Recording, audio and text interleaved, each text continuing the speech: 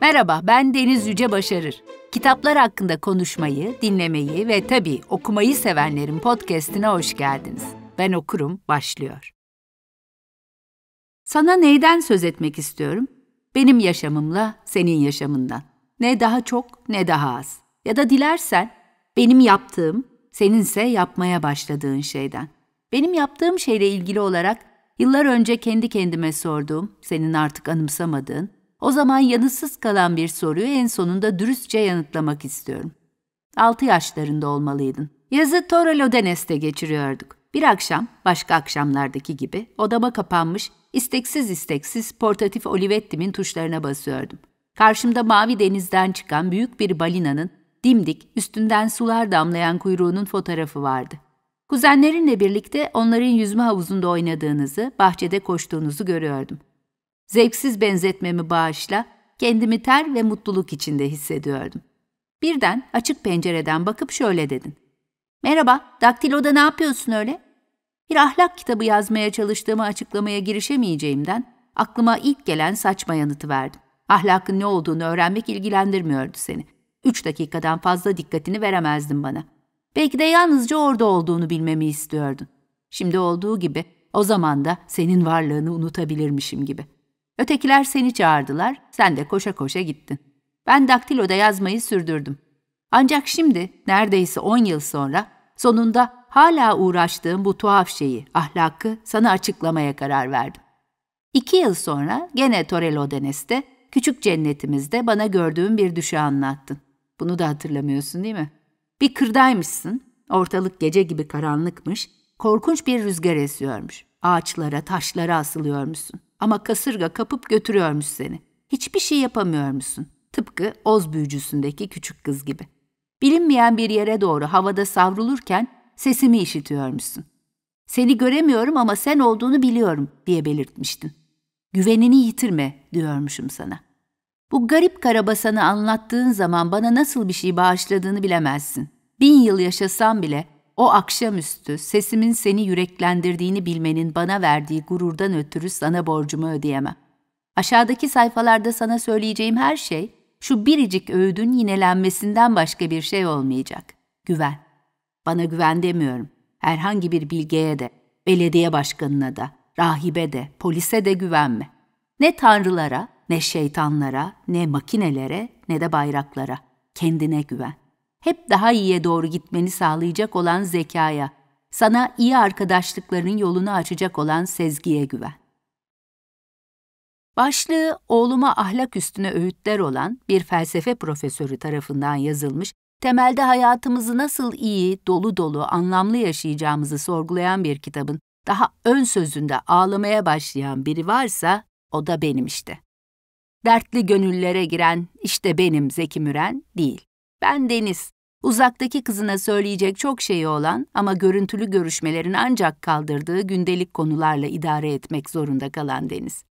Yani aslında öyle hüzünlü bir kitap değil bugün konuşacağımız. Ama işte anne baba olmanın, hele bazı yol dönemeçlerine yeni girmiş anne baba olmanın da böyle bazı duygusal yanları var.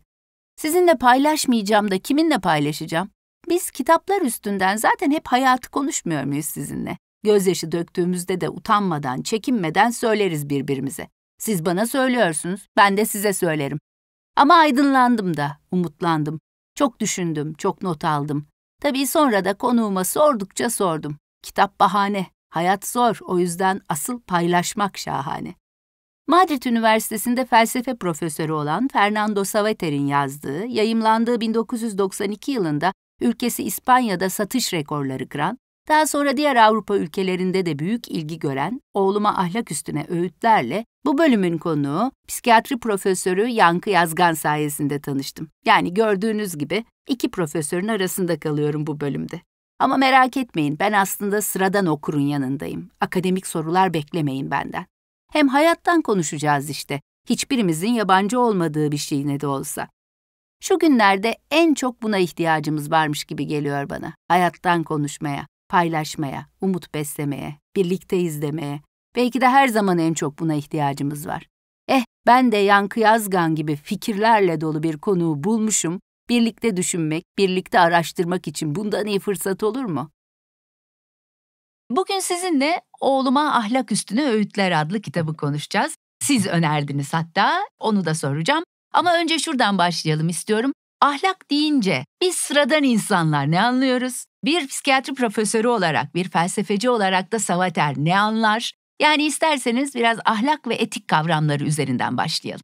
Açıkçası tabii bu beni biraz böyle heyecanlandırıyor, tedirgin ediyor hatta. Çünkü bu konuda e, konuşma yetkilisi birisi değilim. Daha ziyade insan ruh sağlığı açısından ahlak, etik kavramları üzerine belki söyleyeceklerim olabilir. Ama bu kitabı okuduğumda bu konudaki kavramlar kafamda daha netleşti. Çünkü Savater'in de vurguladığı şeylerden birisi aslında bizim en temel özelliğimiz ve bu gelişim alanında çalışan, ruhsal alanında çalışanların buluşları da bu yönde. Başkalarıyla ilişkiler kurmak üzerine. Hı hı. Ve bu başkalarıyla olan ilişkileri düzenleyen yapılardan bahsediyoruz. İnsanlar arasındaki, sadece insanlar değil, insanlarla canlı ve cansız dünya arasındaki ilişkileri de düzenleyen bir bir sistematik yani hı hı. ahlak ve etik. Hani bunların kavramsal tanımlarını Wikipedia'da vesaire gayet güzel e, tanımlayanlar var. Ama burada önemli olan birbirimizle nasıl bir arada olacağımızı insanlığın binlerce yıldır düşünmekte olması.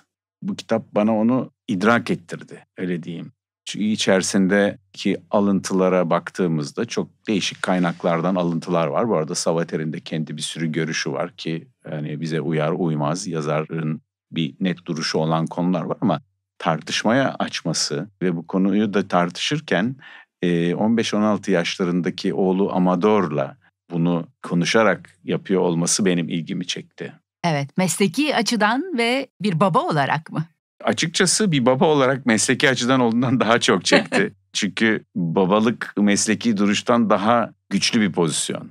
Çok daha derinden duyguları ve duygulara temel teşkil eden biyolojik mekanizmaları tetikliyor. Mesleki duruş öğrenilen, hmm. kontrol etmeyi ya da düzenlemeyi öğrendiğiniz bir an ama babalık diyelim da ebeveynlik genel olarak annelik, değişik pozisyon roller çocuklarla ilgili karmaşık bir biyolojisi de var.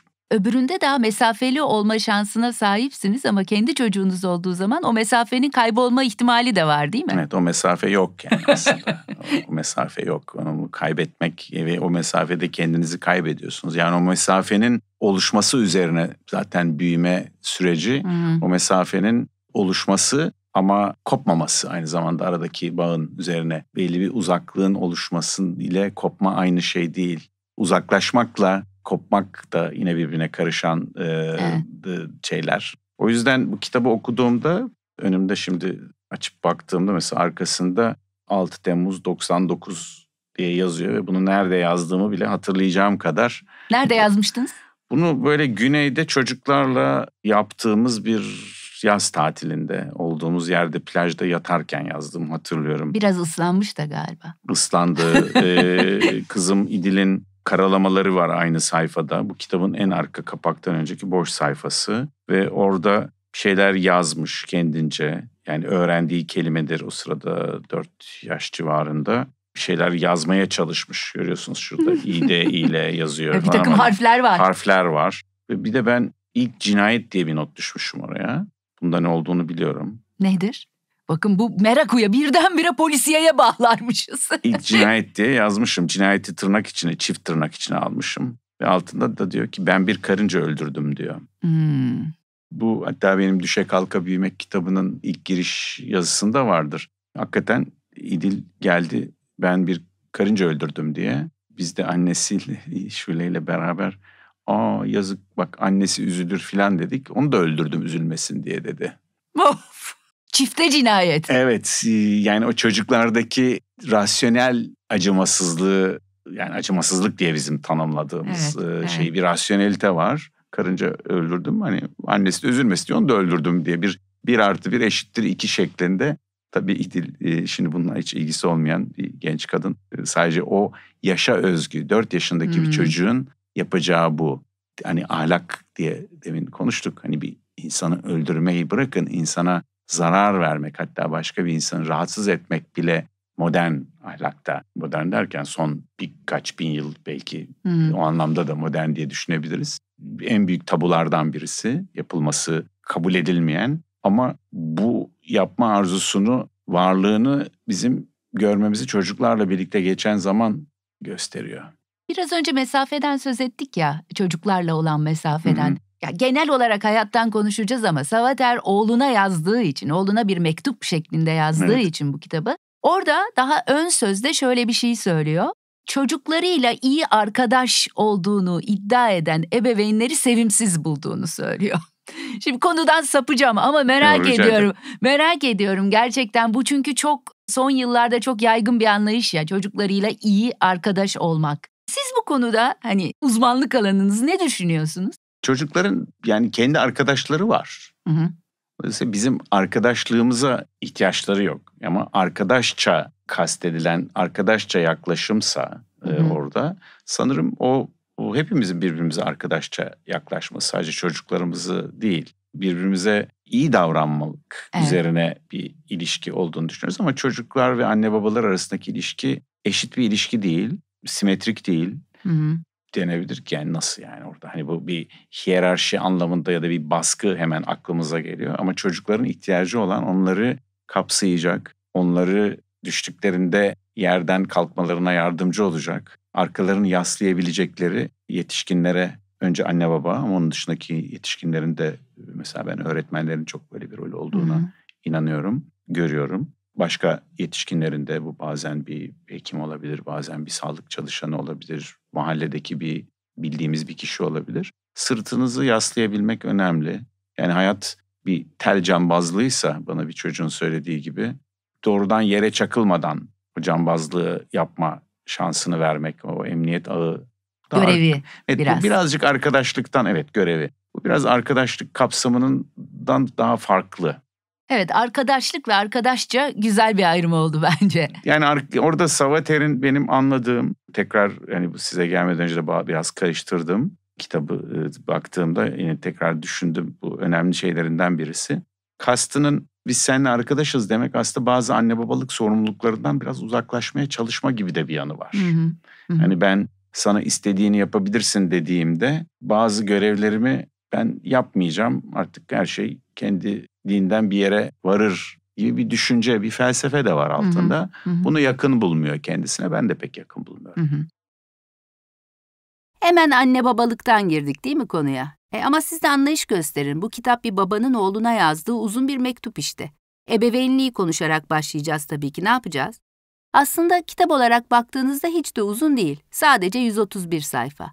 Ama baba bir felsefe profesörü olunca Oğlun okuyacağı metin de sayfa sayısıyla değil, her sayfanın hatta her satırın derinliğiyle ölçülmeli herhalde. Üstelik Savater sadece kendi fikirleriyle boğmuyor oğlunu. Yazarlardan, filozoflardan konuyla ilgili alıntılarla güçlendiriyor savlarını.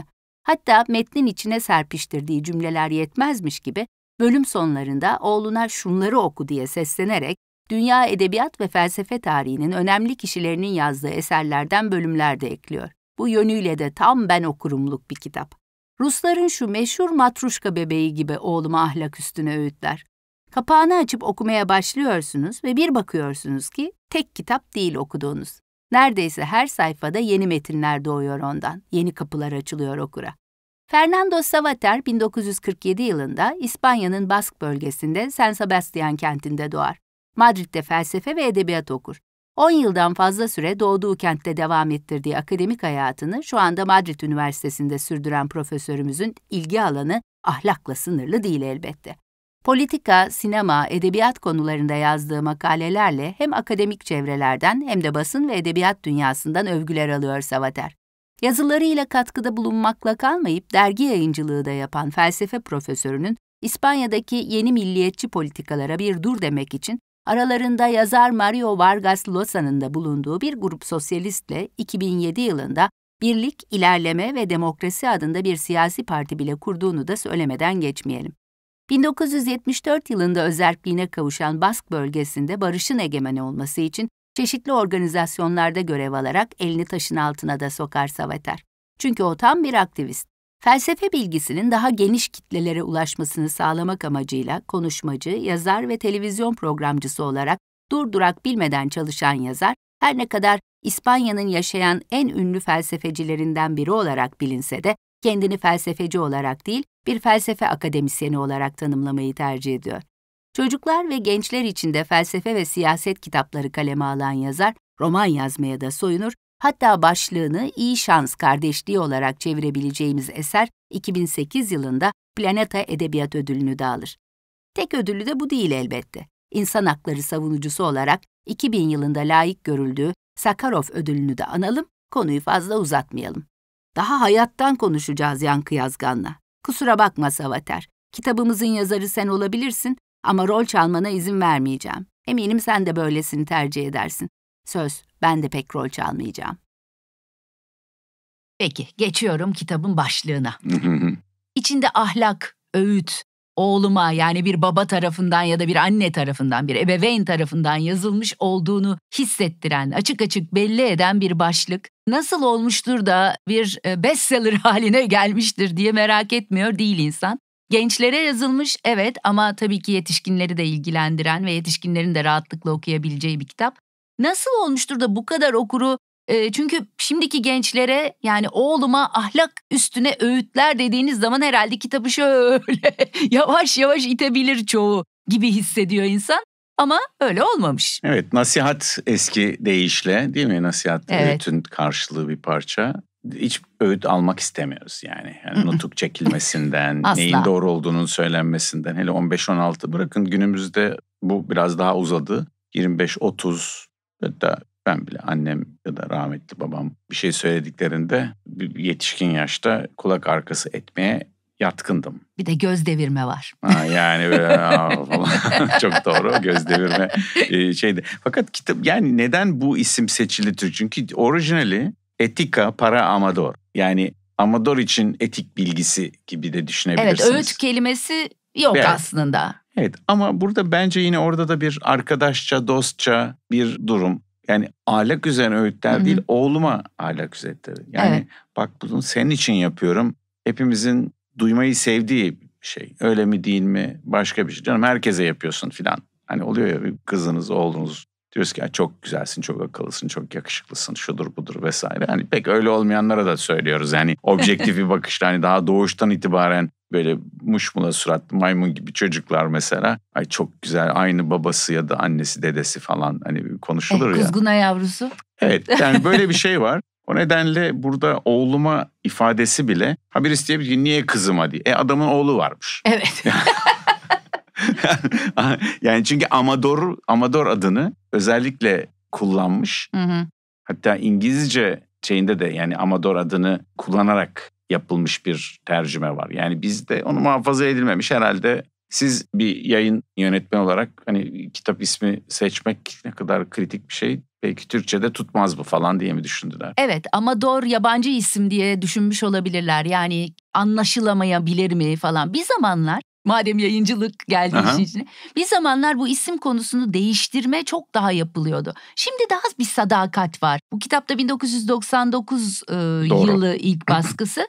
Dolayısıyla şimdi birazcık daha sadık kalınıyor. O zaman o ilgi çekme e, bize uygun düşmez daha çok düşünülüyordu. Şimdi çeviriler daha da arttıkça biraz daha aslında sadakatte arttı sanki. Evet yani orada konunun şeyine baktığım zaman hani öğüt kavramı Türkiye'de yaşayan insanların aklına daha yakın da olabilir. Yani oradaki şey hı hı, yani hı. gibi hani bir vaaz verme değil aslında öğüt. Karşınızdakini düşündüğünüz bir şey ama tatlı bir yanı yok dediğiniz gibi yani. Bir... Yani bu isimde bir kitabın çok satmasını beklemem. Türkiye'de, Türkiye'de de fena satmamış. Fena satmamış yani. Evet. Yani yedinci baskısı benim elimdeki mesela. Evet. Fena değil yani Türkiye içinde. Ve 99'da benim elimdeki de birinci baskı. Evet. Peki sizce gerçekten İspanya'da bir çok satmasının sebebi nedir? Yani biraz üslubun buradan üslubunu konuşalım sonra detaylara girelim diye soruyorum bu soruyu. Çok ahlaklı bir üslubu var öyle yani bir kere çok saygılı yazılmış bir kitap. Hmm. Yani çocuğa çok saygılı, hmm. onun sınırlarını gözeten, onu hizaya getirmeyi değil, beraber olmayı amaçlayan bir kitap. Hı hı. Aslında bir yani oradaki hani arkadaşlığı bir beraberlik gibi beraber düşünen ve dürüst bir kitap. Kendi ikilemlerini, kendi yapamadıklarını evet. özellikle cinsellik ve politika ile ilgili evet. konularda. Bu arada bu yazar parti falan organizasyonlarında çalışmış baskılı birisi. Hı hı. Baskıda oranın. Evet, San Sebastian'da San oldu, Sebastian'da olduğu ayrılıkçılık konularının gündemde olduğu bir yer. Yani bu konulara da çok kafa cesur bir adam. Görüşleri doğrudur yanlıştır. Hani İspanya'daki detayları çok bilmiyorum. Bu arada şunu da unutmayın. Yani İspanya bir iç savaş yaşamış bir ülke. Milyonlarca insanın birbirini öldürdüğü ve bir dönem özellikle 39'dan sonra Frankist, faşist vesaire ne derseniz rejimin yine büyük baskılar e, kurduğu korkunç bir diktatörlükten çıkmış bir ülke. O dönemde doğmuş büyümüş hmm. bir kişi. O yüzden baskı kavramının o totaliter yapının resmi olarak olduğu bir yer. Evet. Evet. Bunun da ben burada özgürlük kavramı üzerine durulmasında çünkü kişisel özgürlükler konusunda da ciddi meseleler var. Örneğin dedeniz ya da babanız iç savaşta Cumhuriyetçiler, komünistler, anarşistler bir grup bunlar safında savaştıysa ve öldüyse mezarı yok mesela. Hatta onun torunu olduğunuzdan bahsetmiyorsunuz, gizli tutuyorsunuz. İşte bir doktor olacaksanız bir yere girmenize engel oluyor. Yani bir kişisel olarak da geçmişinizi gizlemeniz, kim olduğunuzla ilgili dışarıya bir şeyi sezdirmemeniz gereken bir ortamda büyümenin getirdiği bir şey var. Yani özgür olmak, seçimleri vurguluyor. Evet, ilk oradan başlıyor aslında değil mi? Değil mi? Hani başımıza Ahlakı, gelen şeyi Evet. E, ahlak iyi yaşama sanatı deyip tanımlayıp sonra da özgürlüğü birinci madde olarak bize anlatıyor aslında bir yandan. Özgür seçimlerimiz aslında ne yaşadığımızı belirleyen, insanı diğer canlılardan nasıl ayırıyor bu seçme şansı ya da özgürlük meselesi? Yani orada şey var. Yani Savater'in tanımı bana yakın gelmişti o zaman. Başımıza birçok şey geliyor. Hani Hı. işte burada kanserden tutun bahsettiği ya da faşist bir ülkede doğmuş olmak gibi. Bu başımıza gelen bir şey oluyor. Ama buna nasıl reaksiyon verdiğimizde özgürüz. Aslında burada bana hep Viktor Frankl'ın bir başka değiş deyimini anlatıyor. Viktor Frankl'ın hani insanın anlam arayışı kitabı evet. Türkçe'de tanındığı değişik yorumları da oluyor bir parça ama yani orijinalinden farklı yorumlandığını da görüyorum. Baktığımızda orada Frankl diyor ki kabaca yani bir uyaran var. Hı hı. Bir sinir hücresine verilen bir uyaran gibi. Bir de bir yanıt var.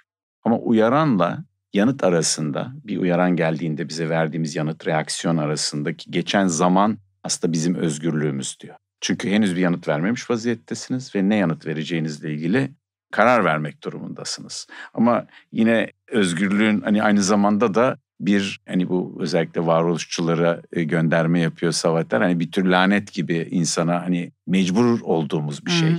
Büyük bir yük, büyük bir sorumluluk özgür olmak.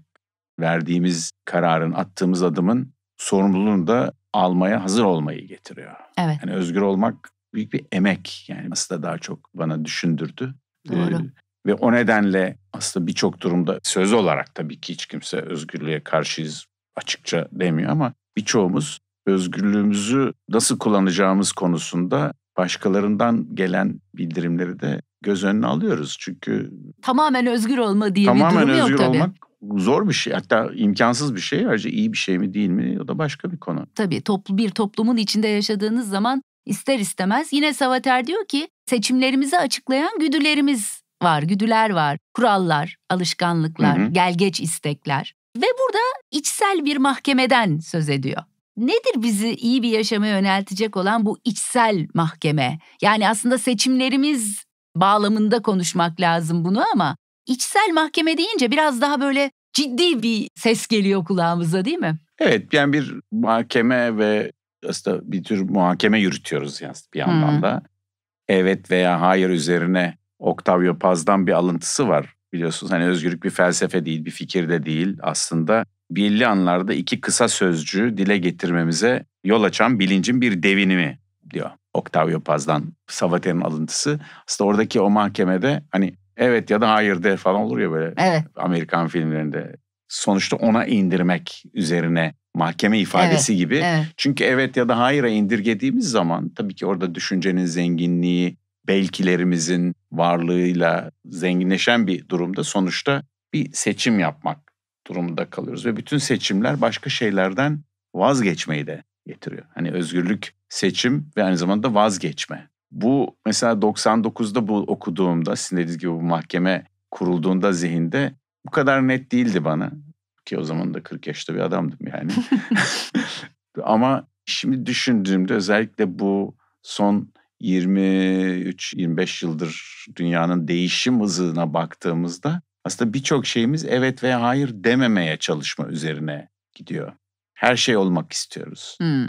Hiçbir şeyden eksik kalmamak istiyoruz. Yani bu tamam böyle eğilimler böyle birdenbire bir gün başlamıyor ama bunun yoğun olduğunu görüyoruz. Şimdiki gençlerle ilgili eleştiriler diyelim. Hı hı. Hani büyük kuşakların daha çok eleştirileri işte o da olsun bu da olsun isteme üzerine. Hiçbir şeyden vazgeçmemek Evet. aslında değil mi? Evet. Hiçbir şeyden vazgeçmemek ama oldurtmak için gereken gayreti göstermiyorlar falan gibi. Acaba niye göstermiyorlar? Yani daha az ahlaklı ya da daha az bilinçli oldukları için mi? Yoksa bir şeyi tercih etmek ya da bir karar vermenin yükü artık taşınmaz hale geldiği için mi? Bazen yük çok gelebilir insana. Bir yükü taşıyamayacak halde olabilirsiniz. Çok yorgun olursanız taşıdığınız yük bir gram yük bile fazla gelebilir. Hı hı. O nedenle burada yükü çok bulmaktan ziyade ben günümüzde özellikle son 20-30 yılın çok yorucu olduğunu düşünüyorum. Çok doğru. Hepimiz yorulduk. Yani bu Evet. kitabın yazıldığı zamanla eğer bir güncelleme yapılsa Hmm. ki Savater sanırım hala hayatta 70'lerin ortasında genç bir sayılır bir insan. Hani günümüze olan güncelleme makalelerini aradım böyle hızlı aradığım için bulamadım yine son dakikaya bıraktım. Ne diyor acaba diye de merak ediyorum. Evet doğru. Çünkü çağ değişiyor. Ciddi bir fark var. Ve gençler dediniz biraz önce. Gençler yorgun mu başlıyorlar hayata aslında bir yandan da? Çünkü dünyanın yükü daha doğarken onların üstüne binmiş oluyor sanki. Doğru. Ve birçok konu onlara kaldığı zaman yani Hı hı. bazı konu hani biz çocukların seçimlerine seçim yapmayı öğrenmeleri, yaptıkları seçimlerin sonuçlarını görerek, öğrenerek büyümelerini arzu ediyoruz. Yani, Sorumluluklarını evet, almalarını. bunun ve çocuklar hani o yaptıklarından doğan sorumlulukları görmeleri, bir sonraki adımlarını belirleyeceği için. Ama bunun için gereken bazı sistematikler var. Yani yapılandırma diyeyim. Hı hı. Bunu yapmak konusunda biz yetişkinler biraz tembellik ettik diye düşünüyorum yani açıkçası. Neden olduğunu bilmiyorum. Tembellik etmek de kendine göre bir gerekçesi olabilir. Hani her şeyin kendiliğinden yolunu bulacağını, her şeyin bir şekilde biz bir şey yapmadan büyüyeceğine mesela çocukların. Hı hı. Yani çocuğu özgürlük Akışa vermenin... bıraktık. Evet çok güzel söylediniz. Kasmadık. Akışa bıraktık. Kasmadık. Çünkü Anda kendiliğinden... kaldık Yankı evet, Bey. anda kaldık. An dışında bir şey olmadığını düşünmeye başladığınız zaman o zaman hani hakikaten bir şey yapmadan durulabilir. Ama bu anda kalmanın felsefi temelini oluşturan insanların da böyle bir iddiası vesaire yok. Sadece bir farklı kullanım diyebilirim. Toparlarsak ne yapacağını bazı durumlarda çocukların kendilerinin karar verme ihtiyaçları yok gelişimde. Yani bazı konular yetişkinler tarafından düzenlenmesi Hı hı. daha iyi. Çünkü çocuğun uğraşacağı daha önemli konular var. Hı hı. İşte hangi giysiyi seçeceği tabii ki önemli bir şey.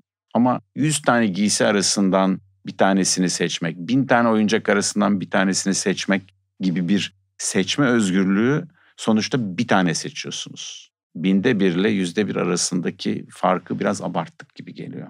Biraz herhalde tepkisel ebeveynlik diyebilir miyiz buna ne dersiniz? Kendi yaşadığımız döneme ya da Hı. bize e, gösterilen ebeveynlik biçimlerine bir tepki olarak hani uçlarda mı seyrediyoruz acaba? Herhalde belki de böyle bir dalgalanan bir şey var. e, Bir eğilim var dediğiniz gibi.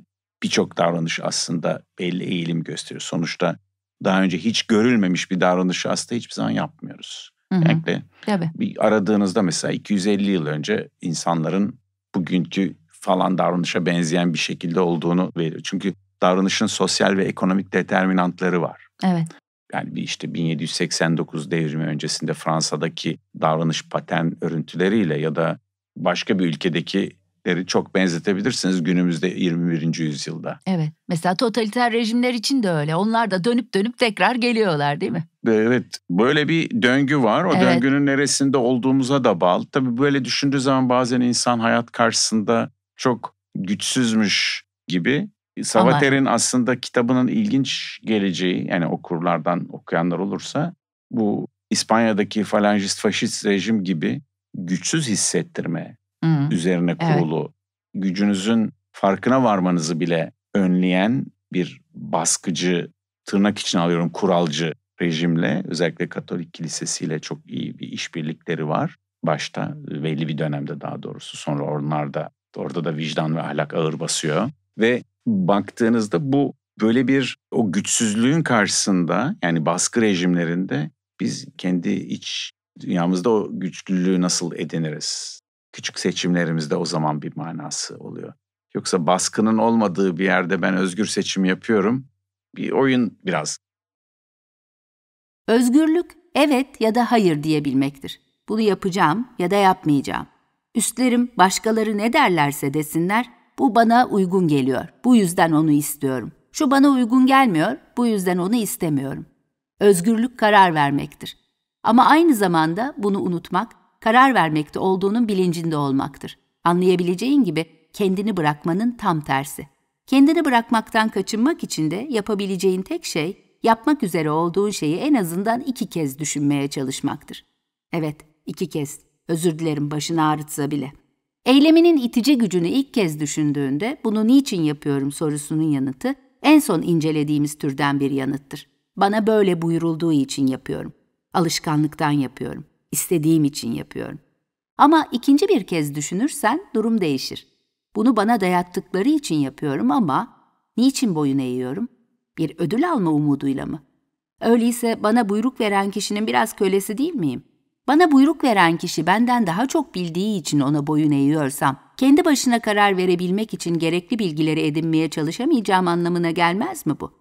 Peki ya bana uygun görünmeyen şeyler yapmamı buyuruyorlarsa, Nazi komutanına toplama kampında Yahudileri yok etmesini buyurduklarında olduğu gibi.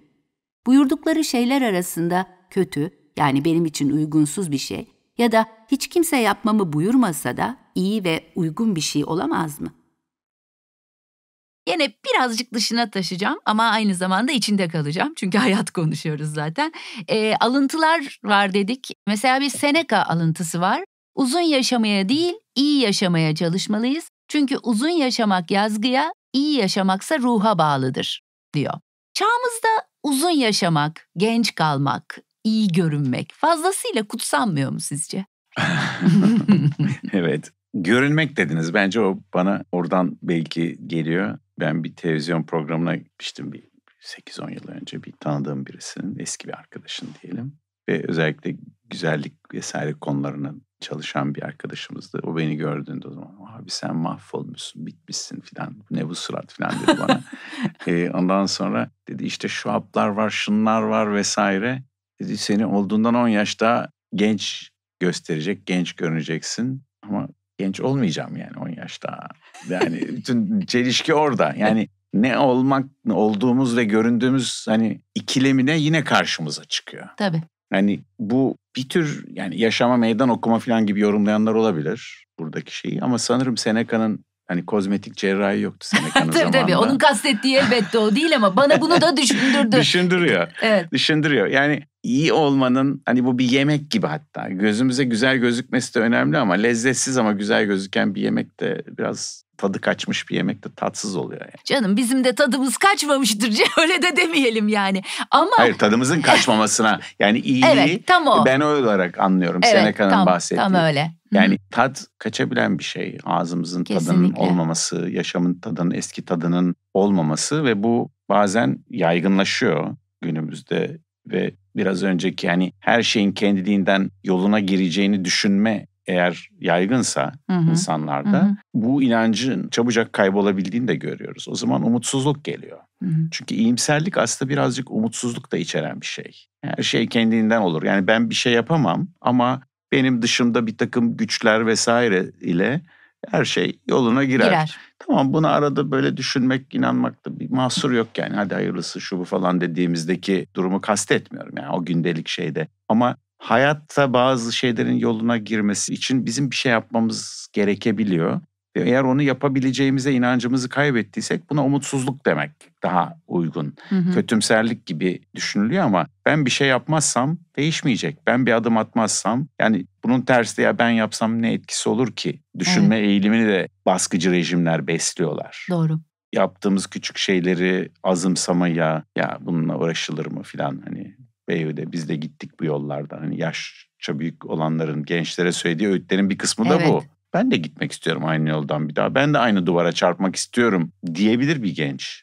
Biraz dediğiniz gibi totaliter rejimler kaderciliği, Allah'a inancı falan da daha çok pompalayarak böylelikle senin elinde zaten bir şey yok. Sen bir kader kurbanısın. Evet güçsüzsün. Güçsüzsün. Gücün yok. Hı hı. Gücünü ancak transfer edebilirsin. Transplant edebilirsin. Onu da ben verebilirim. Mesela güçlü liderlerle ilgili konularda yani o konuda da tabii bir sürü yazılıp çizilen var ama bir güç transferi oluyor yani oradan. Hani birine hayransak, kendimizi de güçsüz hissediyorsak yani onun güçlü olması bize yetiyor. İyi geliyor. Evet. Savater'i okurken karşımıza çıkan kavramlardan biri de ölümün gölgesi. İyi yaşamanın karşısındaki en büyük tehlikelerden biri aslında bir yandan değil mi? Yani buradan biraz Engin Bey'e de Engin Geçtan'ı da anmak güzel olabilir belki. Ee, Engin Yaşamı- Bey'i her vesileyle anmak. alabiliriz değil mi? Değil mi? Yaşamı seyredenlerle gerçekten yaşayanlar vardır onun da insan olmak ve hep söylediği yani kavramları. Biraz bundan da konuşalım. Yani bu bir tehlike çünkü. Ölümün gölgesini her dakika burada hissetmek hissediyoruz tabii de. Hani nasıl olsa öleceğiz diye de yaşanmıyor. Evet çünkü bitecek olan hiçbir şey o zaman başlamamak gerekiyor. Hı. Yani tatil bitiyor mesela. Ama birçok çocukla konuştuğumda ya da gençle belki dinleyenler arasında da kendi çocukluklarını hatırlayanlar. Yani tatile giderken tatilden dönüşün üzüntüsü içine çöken insan az değildir. Bitecek duygusuyla ya da bir ilişkiye, bir romantik ilişki olabilir bu başlarken nasılsa bitecek düşüncesiyle yani her şeyin bir sonu var doğru. Ama o başlangıçta son arasının nasıl olduğuna dair bütün hayat. Evet mesele bu. O sondan sonra başka bir başlangıç olabileceğine olan inançla ilgisi oluyor. Hani üniversiteden sonra hayat yoktur. İşte emeklilikte hayat yoktur vesaire. Yani çok çalışmayı seven birisi için okul yaşamı liseden sonra hiçbir zaman aynı arkadaşlarımızın olmayacağı doğru ve müthiş bir burukluk verir mesela çoğumuza. Ama sonrasında baktığınızda böyle olmadığını görürüz. Bu zihnin geleceğe bir projektör tutma kapasitesiyle yani umut konusuna geliyoruz yine. Yani Hı hı. gelecekte iyi şeyler ya da kötü şeyler olacağından ziyade iyi şeyler olmak için bir irade, olması için bir irade ve bu kendime dönük bir iyi şeylerden ziyade genel olarak iyi olduğunu düşündüğüm şeyleri yapmakla hayatın iyiye gidebileceğini düşünüyorum diyen birçok genç daha iyi yaşıyorlar. Benim gözlemim o. Hani bu, Evet, e, Evet. bu şöyle bir şey demek değil. İşte iyi yaşamanın bir sırrı var da birileri biliyor. Ama biliyoruz ki, görüyoruz ki daha doğrusu hani biraz önceki o içsel mahkeme insanın zihninde kendisini değerlendirdiği, nelere evet nelere hayır dediğiyle ilgili değerlendiren bir sistem varsa bu yaptıklarımızın sadece kendimiz için değil başkaları için de olduğu ölçüde bizim lehimize çalışan bir sistem. Yine bir kilit noktaya geldik bence. Savater'in şöyle bir cümlesi var. İyi yaşamaya çalışmak başkalarını iyi yaşatmaya çalışmaktan başka bir şey olamaz diyor. Çok Bu iyi ka- özetlemiş. Değil mi? Şu karşılıklılık ilkesi. Yani sevgide, saygıda, değer vermede sanki çağımızın biraz unutulan değerlerinden biri değil mi bu karşılıklılık ilkesi? Evet diğer yandan e, o kadar ilginç bir şey mi karşılıklılık yaşamın temel duygularından birisi diyebilirim. Hem duygusu ve davranışı. Şöyle düşünün bir dünyaya gelen bebek ilk yaptığı Hı hı. işlerden birisi hani annesinin sütünü emmek falan filan gibi şeyler dışında göz göze gelebileceği bir göz, bir çift göz, bir yüz arıyor. İnsan yüzüne bakıyor. Hı hı. Bu bir güdü olarak temel güdülerden birisi ve bir karşılık bekliyor. Birçoğumuz bir küçük çocukla bebekle iletişim kurduysa kendisininki ya da başkasınınki bebeğin biz gülümsediğimizde karşılık verdiğini görüyoruz. Yine YouTube'da vesaireden e, böyle kayıtlarını görebileceğimiz durgun yüz Hı. deneyi var. Çocuk gülüyor, kaşını kaldırıyor, burnunu kaldırıyor bebek vesaire. Anne deneysel olarak yapılmış bu. Kayıtsız kalıyor, yokmuş gibi. Bunun bebek üzerindeki etkisi fizyolojik göstergelerle vesaire de yapılmış bir çalışma. Bir tür yıkılma hani etkisi. Yani karşılık alamama beklediğiniz karşılığın olması şart değil. Tepki Ee, yani evet. aslında. Çünkü Değil aksi takdirde o zaman çok yalnız hissettiren bir şey Hı hı. ve yalnızlığın da toksik etkileri üzerine birçok yazı, e, yayın çıkıyor görmüş olabilirsiniz. O nedenle o bağımsızlık yani oradaki Evet. yalnızlıktan kastedilen.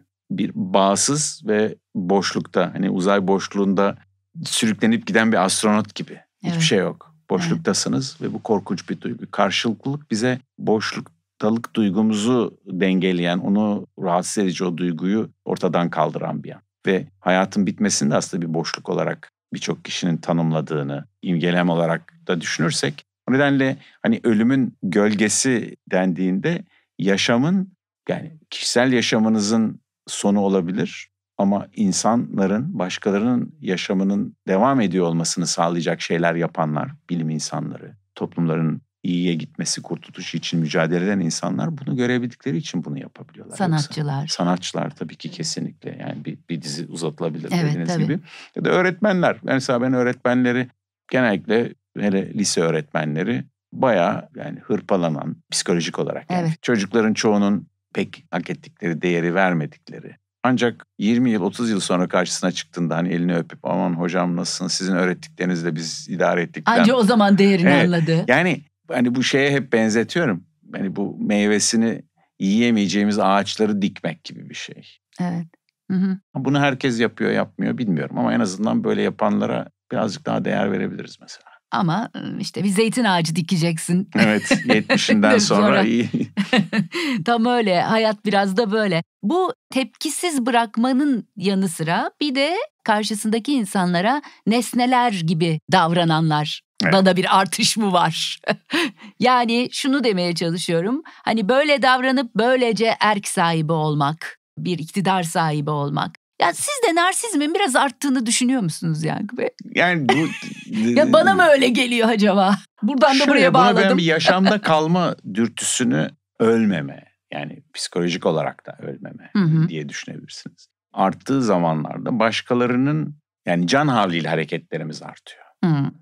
Örneğin suya düşmüş birkaç kişiden yüzme bilmiyorum ve ben birisi gelip beni kurtarmaya çalıştığında aslında genellikle oyun boynuna asıldığımda onu da aşağı çekebiliyorum biliyorsunuz. Can kurtaranlıkta ilk öğretilen şeylerden birisi aşağı çekmeden nasıl birisini kurtaracağınız üzerine. O nedenle orada tekil yani insanların can havliyle hareketlerinin arttığını, Hı hı. gelecekle ilgili umudun kaybıyla çok ilgisi var. Çünkü umut kaybı öfke doğuran bir yanı var birincisi. De zarar verip vermemeyi daha az umursamayı getiriyor. Ve zarar vermeme modern toplumun bir başkasına zarar vermeme temel yani ahlaki gelişimdeki evrelerden birisi, e, ileri evrelerden birisi olduğu için başkasına zarar vermeyi problem görmemeye başlıyorsunuz. Evet. Değil ilişkilerin üstüne titremek, hiç özen göstermemek. Evet, bu yakın ilişkiler için de olabilir. Evet, tabii tabii. Ama gündelik ilişkiler için, sokakta rastladığınız kişiler için bile geçerli galiba biraz değil mi? Ama sonuçta bir bağımsızlık da getirdiğini çünkü temel ihtiyacını aslında can haliyle hareket edip Hı hı. tahripkar, yıkıcı davranışlarda bulunan birçoğumuz bir yandan da o bağımsızlığın acısını da çekiyoruz. Yani bunun zararını görmüyor değil. Evet. O nedenle ben birçoğumuzun hani konuştuğumuzda, bir film seyrettiğimizde, bir kitap okuduğumuzda, birisini dinlediğimizde bu duygularını aklına getiren insan insana değer verdiği, vermesinin güzel bir şey olduğu, iyi bir şey olduğunu akla getiren şeylerin varlığı birçoğumuzu belki dediğimiz tipte bu can haliyle davranıştan birazcık uzaklaştırıyor. Ama toplumsal, ekonomik, sosyal belirleyicilerin önemini söyledim ya. Örneğin yoksulluk, Adaletsizlik evet belki. eşitsizlik, Eşitsizlik, eşitsizlik ve yoksulluğun yoğun olduğu toplumsal yapılarda bu tür davranışlar çoğalıyor. Adalet mekanizmasına da kişilerin- güven olmadığı zaman Doğru. falan değil mi? Hı hı. Ee, kişiler yani sadece kişiler hani hadi böyle yapalım kimseye önem vermeyelim değer vermeyelim dedikleri için olan bir kısım da olmuyor. Ama orada bir toplumsal hareketler politika bunun için var. Aslında bu ortak iradelerin yönünü değiştirmek amaçlı bir umut kazandığı zaman insanlar Hı hı. o zaman durup düşünme fırsatları oluyor. Yoksul veya baskı altında veya eşitsizlik durumunda bile o zaman davranışlarında bir değişiklik görebiliyorsunuz. O zaman ama bir umut görmüyorsanız yıkıcı ve tahripkar olunabiliyor. Yani bu yoksulluk Birleşmiş Milletler terminolojisinde yapısal şiddet olarak tanımlanıyor. Hı hı. Yoksullaşmanın bir travmatik etkisi olduğu ve bu travmatik etki nedeniyle de davranış kontrolünün yani sonuçta eğer bu özgürce davranışımızı seçiyoruz ya orada davranış kontrolümüzün kaybolmasıyla bizim edindiğimiz ileri düzeyde ahlaki davranışları devreye sokmak için gereken eforumuz kalmamış oluyor. Evet.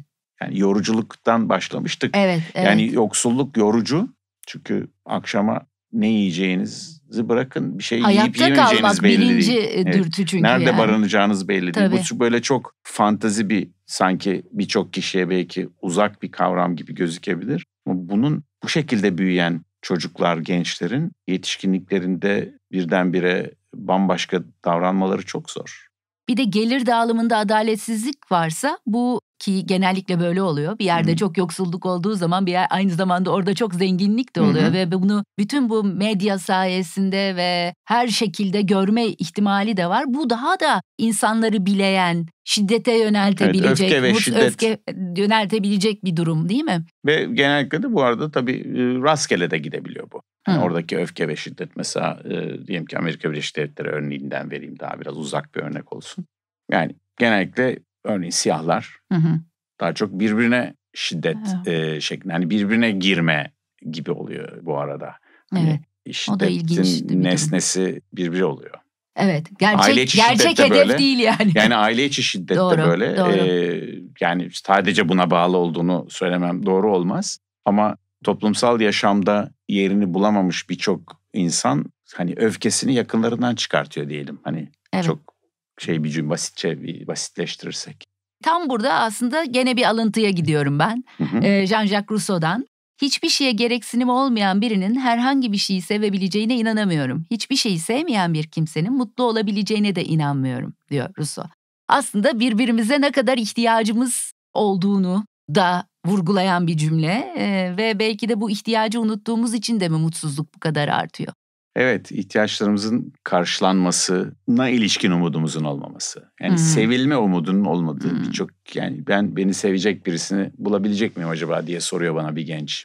Yani böyle bir soru tabii sahici bir soru. Şimdiye kadar sevildiğinle ilgili senin düşüncen ne diye sorduğumda yo çok sevildim. Hani evimde çok sevildim. O beni bu kadar sevecek başka birisini bulabilir miyim diye soruyor. Bakalım göreceğiz diyoruz. ya zor bir şey. Genç olmak da ne zor. Siz de sık sık gençlerle bir aradasınız değil mi? Hayata Değişik sebeplerle evet hoşuma gidiyor. De, çok değişik düşünüyorlar. Temelde aslında çok farklı olmadıklarını düşünüyorum. Hani bu kuşak farkı falan konuları tabii önemli. Yani günümüzde Hı. davranışlar anlamında farklılar.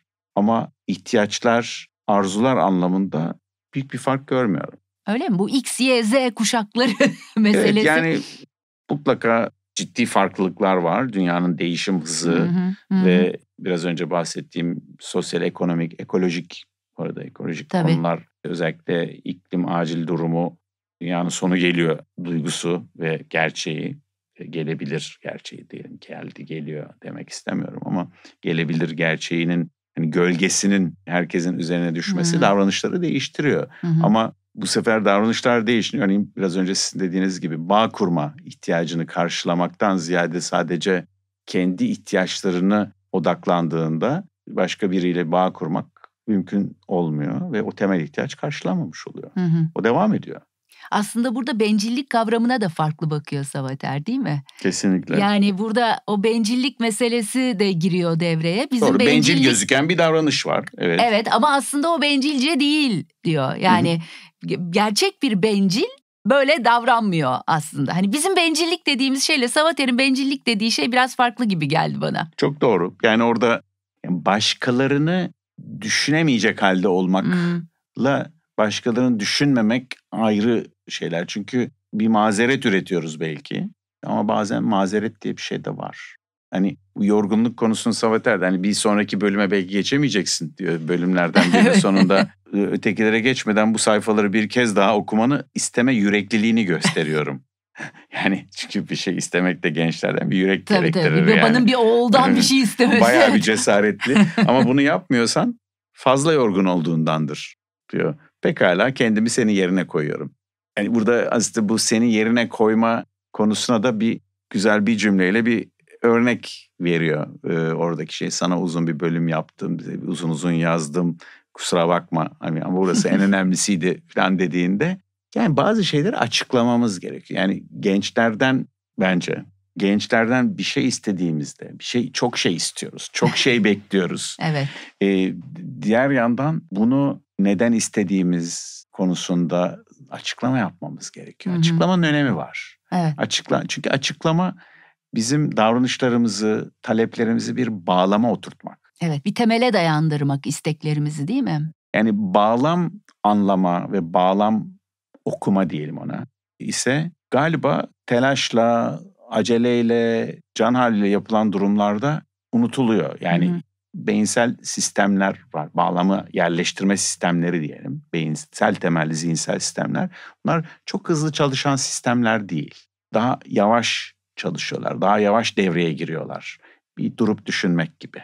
Ama durup düşünmeye fırsat vermeden seçimleri yapmaya zorlandığımız bir dünyada bağlamın ne olduğunu anlamadan görünürdeki haliyle karar veriyoruz. Sizin hmm. biraz önce bahsettiğiniz hani genç gösterme e, o yüzden nasıl göründüğünüz daha önem kazanıyor. Çünkü nasıl göründüğünüze ben hızlıca bakıp karar verebilirim. Yani ama bağlamını değerlendirmek için gereken mekanizma devreye girdiğinde ben eylemimi yapmış olurum ve belki bir yanlış tercih, yanlış seçim ya da zararlı olan daha önemlisi. Yani yanlış yapmakta Savater'in yine söylediği şeylerden biri yanılma hakkımız var.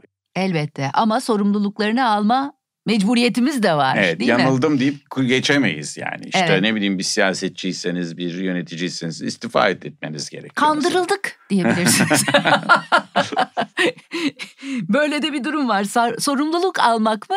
Onun karşısında da karşı konulamaz olma durumu diyor Savater. Hmm. Yani bu karşı konulamaz bir durumdu. Evet. Yani işte deprem geldi Allah'ın işi insanlar öldü. Yani yapacak bakıp, bir şey yoktu. Evet sorumluluk almamak da böyle bir durum. Aynen öyle yapacak bir şey yoktu ya da bu böyle bizim bizim elimizde değildi.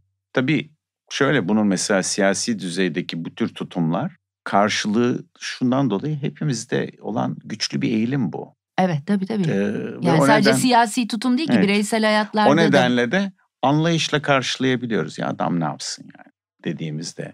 İnsanların şöyle bir iyi bir özelliği var. Farklı perspektifleri gördüğünde, e, tekrar tekrar gördüğünde, tekrar tekrar gördüğünde, oturulduğunda, konuşulduğu için o yüzden uzun konuşmalar, fikir alışverişleri, aynı şeyleri tekrarlamaktan ziyade bir spiral gibi aynı şeyleri daha iyi işlemek bir düşünceyi. Buna fırsatlar olduğunda bu iyi eğitim, medya, özgür düşünce, tartışma ortamları buna imkan veriyor.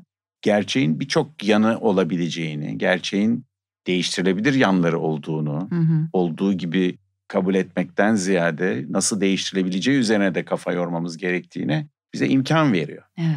Diğer türlü bunun zaten mümkün olmadığına inandığınız bir sistemle yani derslerin öğretilmesinde bile baktığınızda çaresizlik duygusu veren bir takım güçlü duyguları yatıştırmayı doğuran şeyler var. Güney Afrika'da yapılmış bir çalışma var. Apartheid rejimi ile ilgili bir ders var. Bir de Holocaust rejimi, Holocaust'la ilgili bir ders var. İkisi de insanların yaptığı kötülüklerle ilgili. Ve Güney Afrikalılar aslında apartheid daha çok ilgilendiriyor. Hani yani doğru yaşamların içinde. Ama Holocaust'la ilgili dersi daha çok seviyorlar çocuklar bu çalışmada. Çünkü diyorlar apartheid'la ilgili şeyi böyle işte kanunlar, anlaşma maddeleri gibi kuru bir şekilde hmm. bağlamsız biraz önce konuştuğumuz bir bağlamsız olarak anlattığımızda ona bir mesafe koyuyoruz ve onunla bir angaje olamıyoruz. Onunla bir kendimize ait bir şey bulamıyoruz. Ama öbür ders Holocaust dersi anlatılan bugün Afrika'daki okulda ne oldu, ne bitti, yapanlar nasıl düşünüyorlardı, fikirleri nasıl değişti. Daha Baş... insana dokunacak evet, şeylerle Bir hikayeleştirme e, kısmı. Şimdi hikayeleştirme ile ilgili ama bir problem şu. İnsan zihni bir hikayeyi aldığı zaman Hı-hı. ikinci bir hikayeyi duymakta çok zorlanıyor. Dolayısıyla ilk anlatılan hikayenin gücü çok fazla perspektif verici bir yanı değil de daha konuyu kapatan, hmm. tartışmayı hmm. bitiren Hı-hı. tipte bir hikaye olduğunda o da aslında hani zevkli ama Onun da e, gerçeği yansıtmayan var. hatta gerçeği daha diğer boyutlarını aramayı önleyen bir yanı da var. Peki bu Güney Afrika'daki derslerin böyle verilme seçimleri de aslında kendi meselelerine odaklanmayıp dış meselelere Aynen. odaklanarak bunu e, biraz sümen altı etmek Aynen üzerine kurulu Güçlü bir şey. Duyguları bastırma Bak. üzerine Hı-hı. yani çünkü Hı-hı. utanç var, suçluluk var tarih öğrenirken e, önemli konulardan birisi. Tarihle ilgili bir yani ya böyle bir hikaye oluyor dizi filmlerdeki falan evet. gibi ya da böyle bir takım işte Mondros mütarekesi, işte Karlofça anlaşması yani tam ne oldu aslında anlamadığınız O nedenle dizi filmlerdeki tarih daha ilginç geliyor. Ama bu sefer de onu gerçek tarih sanmaya başlıyoruz. Evet, tarih bildiğimizi düşünmeye evet. başlıyoruz değil mi? Yaşamdaki biricik görevimiz nedir diye soruyor Savater. Yanıtı da ahmak olmamak. Burada kastedilen ahmaklık nedir sizce? Ah. zor zor yani soru. Düşünen, düş, kafa yormak. Ben yani ahmak olmamayı düşünmek, kafa yormak, yanılabileceğinize, ahmaklık yapabileceğinizi düşünmek. Yani yanılabilmek, hakkımızın olduğunu, yanılmaktan korkmamak. Bunu insan çok değişik şekillerde kazanabildiğini düşünüyorum. Örneğin bilim eğitiminin insana bunu verdiğine inananlardan. Bilim eğitimi Hı-hı. derken Hı-hı. deney yapmanın, bir yaşamı sadece bir takım tesadüflerle veya bir takım bizim dışımızda kontrol edildiğimiz kurallara göre işleyen bir mekanizmayla açıklamak yerine neyin nasıl değiştiğini, neyin nasıl olduğunu yani neden sorusu kadar nasıl sorusunun da araştırılmasının önemli olduğunu düşünüyorum. Hı hı. Bu bilim derken herkesin aklına fen, matematik vesaire gibi dersler tabii geliyor doğru. Ama yine bir soruyu doğru anlamayı, doğru formüle etmeyi, doğru hı hı. koymayı, bir hipotezi oluşturmayı sağlayan dille ilgili beceriler. Tabii. Dilin doğru kullanımı. Yani mesela edebiyatın çok önemli bir işin bir parçası olduğunu, yani bilim eğitimine ağırlık verilmesi gerekir derken beşeri bilimlerle ilgili konuların örneğin tıp fakültesi öğrencilerine baktığınızda bir resim sergisine ya da bir müzeye gidip resimleri inceleme üzerine geçen bir dersin hmm. hasta muayenesi sırasındaki bulguları daha iyi bulma, daha iyi anlama ve daha iyi bir araya getirme becerisini arttırdığını biliyoruz. Hı hı, Yani yapılmış birçok iş var bu konuda. O nedenle sanat, edebiyat, müzik ile fen ve matematiğin ayrılmaz bir beraberliği var. Evet. Kültür derslerinin ve bilim derslerinin çoğalması gibi. Hani bana dese ki birisi bir tek şey yapılsın. Bunları çoğaltalım. Evet. Evet. Dil zaten düşüncenin ilk yolu bir yandan da yani evet. hani dil düşünceyi etkiliyor ister istemez. Nasıl düşündüğümüzü düşünce sistemimizi de etkiliyor. Ve dille deney yapabiliyorsunuz mesela şiir yazmak. E, evet. Gloucester niçin kendi kendine düşman olur? İstediği şeyi, tahtı ele geçirmemiş miydi? Evet ama başka insanlarca gerçekten sevilme, sayılma olasılığını çiğneyerek. Taht, kendiliğinden gerçek sevgi ve saygıyı garantilemez. Yalnızca dal kavukluk, korku, boyun eğiş sağlar. En çok da 3. Richard'ın durumunda olduğu gibi hileyle ele geçirilmişse. Sakatlığını bir biçimde dengelemek yerine Gloucester içsel olarak da sakatlıyor kendini. Ne kamburluğundan ne de aksaklığından ötürü onun bir suçu yoktu. Bu yüzden de bu şanssızlıklar yüzünden utanç duymamalıydı. Asıl utanması gerekenler ona gülen, onu aşağılayanlar olmalıydı. Dışarıdan insanlar onu sakat görüyorlardı ama o içinden kendini zeki, cömert, sevgiye değer hissedebilirdi.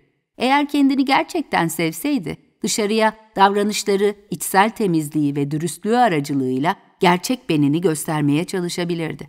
Tersine işlediği cinayetler, kendisinden başka hiçbir tanığın bulunmadığı iç dünyasına baktığında onu kendi gözünde ruhsal sakatlığı herhangi bir fiziksel sakatlıktan daha itici olan bir canavara dönüştürürler.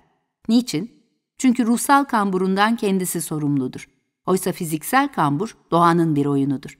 İhanet ve kanla lekelenmiş taç onu daha sevimli kılmaz. Sevgiye her zamankinden daha az layık olduğunu hisseder artık kendi kendisini bile sevmez. Tek başına kendine bunca kötülük etmiş birine bencil der miydin? Bundan önceki bölümde gözünden kaçmadığını umduğum bazı katı sözcükler kullandım.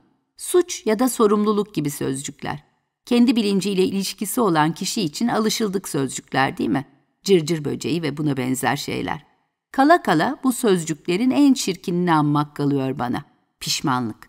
Hiç kuşkusuz Gloucester'ın varlığını zehirleyen, onun tahtın ve erkin tadını çıkarmasına izin vermeyen her şeyden önce vicdan azabıdır. Şimdi sana soruyorum. Vicdan azabı kötü davranışımızdan ötürü bu dünyada ya da ölümden sonra öte dünyada eğer öte dünya diye bir şey varsa hak edebileceğimiz ceza karşısında kapıldığımız korkunun içsel yansımalarıdır diyebilir miyiz? Ama tutalım ki Gloucester adaleti yerine getirmek isteyen ve kötü davranışlarından ötürü onu cehennemin sonsuz ateşine yargılı kılacak bir tanrının varlığına inanmayan insanların öç almalarından korkmuyor. Gene de pişmanlık işkencesi çekmeye devam ediyor. Şunu düşün. Bir kimse kötü davrandığı için mantıksal olarak hiçbir şeyin, hiç kimsenin ona karşı misillemede bulunmayacağından emin olsa bile acı çekebilir. Gerçek şu ki, kötü davrandığımız, bunun bilincine vardığımız zaman zaten cezalandırılmışızdır. Çünkü kendi kendimizi gönüllü olarak az ya da çok sakatlamışızdır. İnsanın davranışlarıyla gerçekte olmasını istediği bir şeyi engellediğinin bilincine varmasından daha kötü bir ceza yoktur. Peki vicdan azabı nereden geliyor? Benim için çok açık. Özgürlüğümüzden. Edebiyata geldik. Gene bir edebiyattan soru. Shakespeare'in ünlü tragedyalarından 3. Richard'dan örnek veriyor e, Savater. Richard'ı yok eden fiziksel kamburu mu, ruhsal kamburu mu diye soruyor. Bence bu ikilem de çok önemli. Yani yine seçime geliyoruz. Fiziksel bir kambur insanı öfkeli, Frankenstein gibi mesela, yalnız, saldırgan yapabilirken onu ruhsal kambura çevirdiğinizde aslında o güdülerle hareket ettiğinizde iyice yalnızlaşıyorsunuz ve iyice mutsuzlaşıyorsunuz ve iyice şiddete başvurmuş oluyorsunuz. Burada da Richard bize bayağı bir edebiyat bize bir şey söylüyor değil mi? Evet kabul etmekle ilgili bir kavramdan yani kabul etmekle hmm. tabii kabul etmeyi bir teslim olma gibi hepimiz daha çok şey yapıyoruz. Aslında kabul etmek yolun uzun olduğunu kabul etmek gibi. Hı Yolun engebeli olduğunu kabul etmek gibi. Ve bu kabulün kabul olduğu ölçüde engeller aşılabiliyor. Engelin varlığını kabul etmezseniz engeli aşmanın ya da engeli ortadan kaldırmanın bir yolunu bulamıyorsunuz. Hatta ben oradan büyütüyorsunuz engeli değil mi? E, kesinlikle öyle. Bu değişik engelleri olan insanların deneyimlerine baktığınızda hı hı. engeli yokmuş gibi davranmakla engeli yolunuzdan çekmek aynı şey değil. Engeliniz var ama sizin Siz bunun devam en güzel engel. örneklerinden birinin çocuğusunuz aslında değil ee, mi? Doğru bunu kabul ederim ediyorum. Bunu babamın babam Gültekin Yazgan'ın hani evet. Kör Uçuş adlı kitabı buna delgeleyen kitaptır. Yani ve babamdan duyduğum en önemli bana kalan fikirlerden birisi engeller bir gerçek. Hatta o yüzden engelli kelimesini de çok sevmezdi. Çünkü engel kaldırılabilir bir şey. Yani engelin varlığını mı sürdüreceğiz diye öyle bir paradoksal bir bakış açısı vardı. Yani engele teslim olmama ama aynı zamanda da kabul etme üzerine.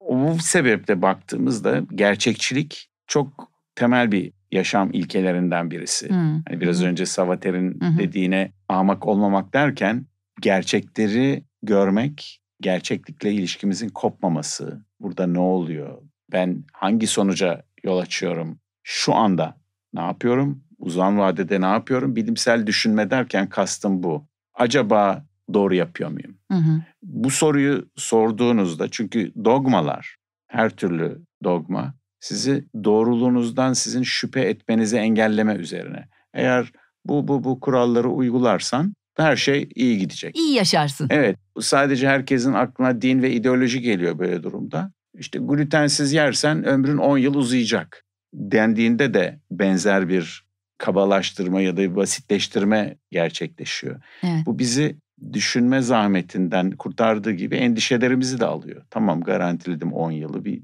de işte şunu da yaparsan bir 10 yılda oradan kazandım gibi. Hani sevap puan falan diyor ya gençler yani bunun da bir başka çeşidi olduğunu düşünüyorum. Evet. O nedenle bizim yaşamın zor olabileceğini kabul etmemiz ama yaşamın zor olması birçok şeyin zor olması. Maraton koşmak da zor ama maraton koşanlar maratonun sonunda bayağı mutlu gözüküyorlar. Evet başarmak hissi. Bir engeli aşmış Ma- olma duygusu. Evet. Bir küçük çocuğun bir sandalyeye tırmanırken ona tırmanmasında, tırmanışında ve Hı-hı. çıktığında ya da bir merdivene çıktığındaki yüzündeki ifadeye bakın. Düz yolda gitmeye göre daha fazla zevkli. E, hayat zaten hiçbir zaman düz bir yol değil ki. Hiçbir zaman, hiçbir dönemde, hiçbir coğrafyada tam bir düz yol değil. Bazı coğrafyalarda daha zor tabii. Oralara girmeyelim. Evet.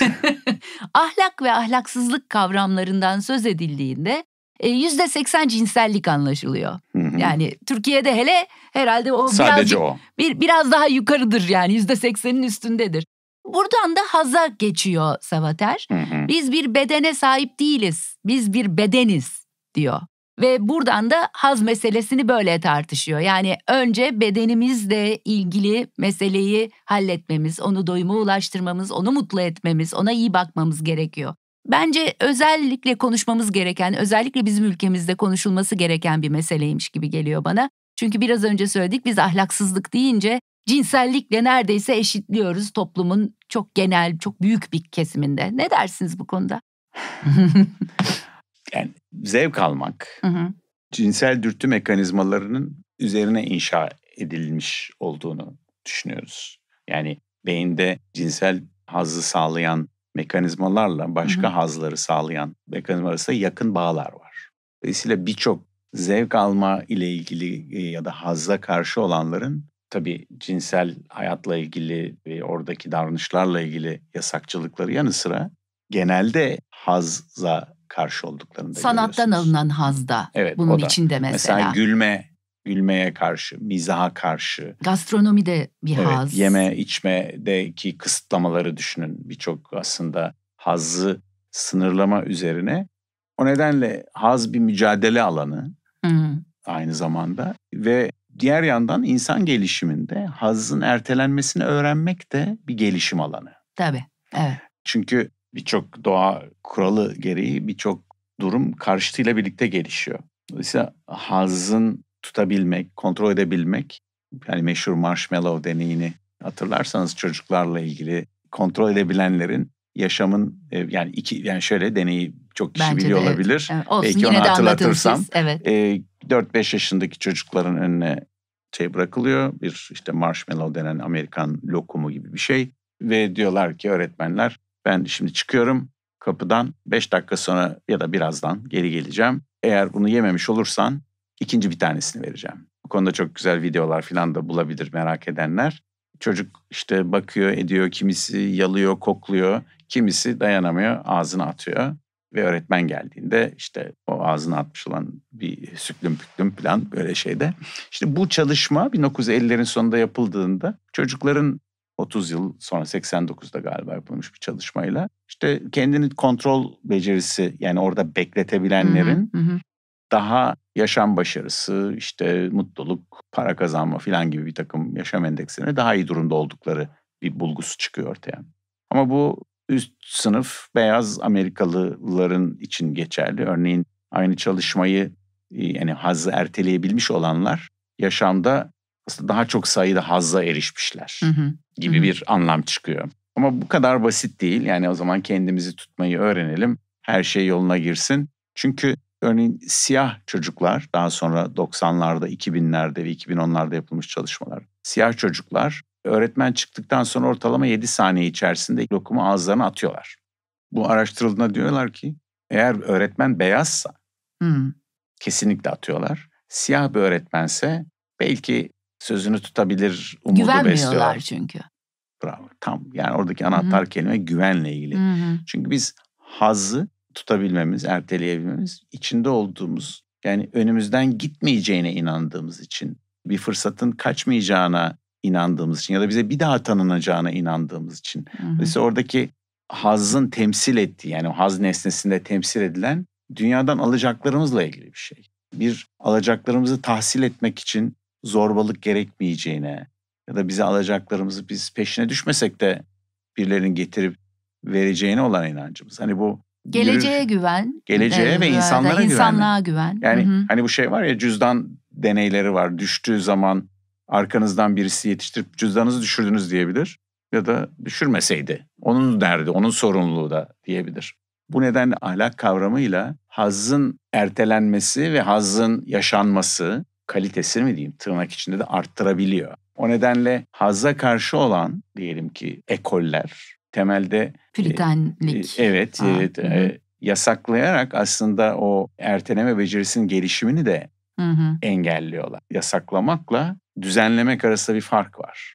Akşama yersin dediğinizde bir şey mesela şimdi yemek istiyorum ama akşama yersin dediğinde bir... Bu yenmez evet. de. ya da baban geldiğinde hep beraber sofraya oturalım. Annen geldiğinde bunu yapalım gibi misafirleri bekleyelim. Anladın mı?